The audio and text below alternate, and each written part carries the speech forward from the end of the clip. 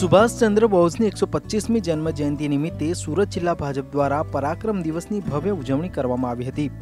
આ પ્રસંગે મુખ્યમંત્રી વિજય રૂપાણી વિશેષ હાજર રહ્યા હતા. મુખ્યમંત્રી વિજય રૂપાણીએ હરિપુરા ચોકમાં સુભાષચંદ્ર બોઝની પ્રતિમાને સૂતરની આંટી પહેરાવી પુષ્પાંજલિ અર્પણ કરી હતી. સાથોસાથ મુખ્યમંત્રીએ ગામમાં સુભાષ બાબુના સ્મારકની મુલાકાત લઈ ચિત્ર પ્રદર્શનને પણ ખુલ્લું મૂક્યું હતું. શણગારેલા એકાવન બળદગાળા સાથે પરંપરાગત આદિવાસી નૃત્યો સહિત મુખ્યમંત્રીનું ઉષ્માભેર સ્વાગત કરાયું હતું. જાજરમાન બળદગાળામાં સવાર થઈને મુખ્યમંત્રીએ અભિવાદન ઝીલ્યું હતું. કાર્યક્રમ સભા ગજવતા વિજય રૂપાણીએ જણાવ્યું હતું કે સુભાષચંદ્ર બોઝે, તુમ મુજે ખૂન દો, મેં તુમ્હે આઝાદી દુંગાના નારા સાથે અંગ્રેજો સામે જંગ છેડી હતી. ઇતિહાસમાં ખાલી સુભાષચંદ્ર બોઝ નહીં, આંબેડકર. એને પણ કોંગ્રેસે હરાવ્યા હતા. આંબેડકરને પણ સ્વીકાર્યા નહોતા. આંબેડકરની સામે ઉમેદવારો મૂકીને આંબેડકર સંસદમાં ન જાય, એ ભૂતકાળમાં કોંગ્રેસે કહ્યું હતું. વીર સાવરકર આંદામાનની જેલમાં બબ્બે જન્મદિન જેને લીધી, એ સાવરકરને પણ આ કોંગ્રેસે એના ઇતિહાસને ઉજાગર થવા દીધો નહીં. સરદાર વલ્લભભાઈ પટેલ તો આપણા ગુજરાતના માટે ગૌરવ છે. એ સરદાર વલ્લભભાઈ પટેલને પણ હાસ્યામાં રાખવામાં આવ્યા હતા. સુભાષચંદ્ર બોઝનું મ્યુઝિયમ નરેન્દ્રભાઈ બનાવી રહ્યા છે કલકત્તામાં. આંબેડકરે જ્યાં જ્યાં જન્મ, એમનું કર્મ, એવી તીર્થ સ્થાનો એ તીર્થ સ્થાનોને ઉજાગર કર્યા.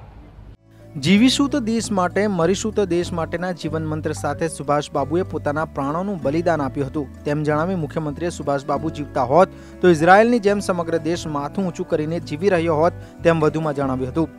કાર્યક્રમ વેળા મુખ્યમંત્રી વિજય રૂપાણીએ કોંગ્રેસ પર આકરા પ્રહાર સાથે કહ્યું હતું કે, પરિવારવાદની જનક, કોંગ્રેસે દેશની આઝાદીના મહત્વના સ્વતંત્ર સેનાનીઓ સરદાર પટેલ, સુભાષચંદ્ર બોઝ, વીર સાવરકર, શ્યામજી કૃષ્ણ શર્મા સહિતના નેતાઓનું યોગદાન ભૂલાવી દીધું હતું. પરંતુ હાલ વડાપ્રધાન નરેન્દ્ર મોદીએ સરદાર વલ્લભભાઈ પટેલની વિશ્વની સૌથી ઊંચી પ્રતિમા સ્ટેચ્યુ ઓફ યુનિટીનું નિર્માણ કરાવતા સમગ્ર દેશનું નામ વિશ્વ ફલક પર ઉજાગર થયું છે.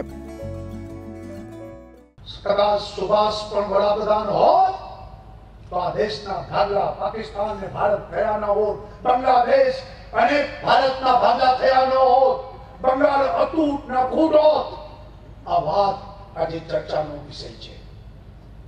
ત્યાર પછી કોંગ્રેસે પોતાના પરિવારવાદમાંથી બહાર નીકળી નહીં કોંગ્રેસે સાચો ઇતિહાસ એને પણ બંધ કરવાના પ્રયત્ન કર્યા. ભાઈઓ બહેનો, કોઈ પણ રાષ્ટ્ર એ પોતાના ઉજ્જવળ ઇતિહાસથી પ્રેરિત થઈને ભવિષ્યની પેઢી એમાંથી દ્રષ્ટાંતો લઈને, પ્રેરણા લઈને આ દેશ માટે, સમાજ માટે ઝઝુમતા હોય છે.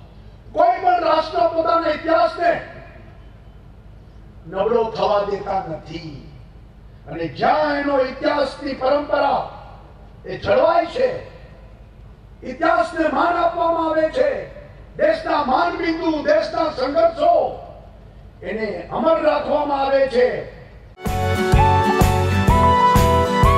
અને ગુજરાતની યુટ્યુબ ચેનલને સબસ્ક્રાઇબ કરી ક્લિક કરો બેલ આઇકન અને મેળવો વિશ્વભરના ન્યૂઝ અપડેટ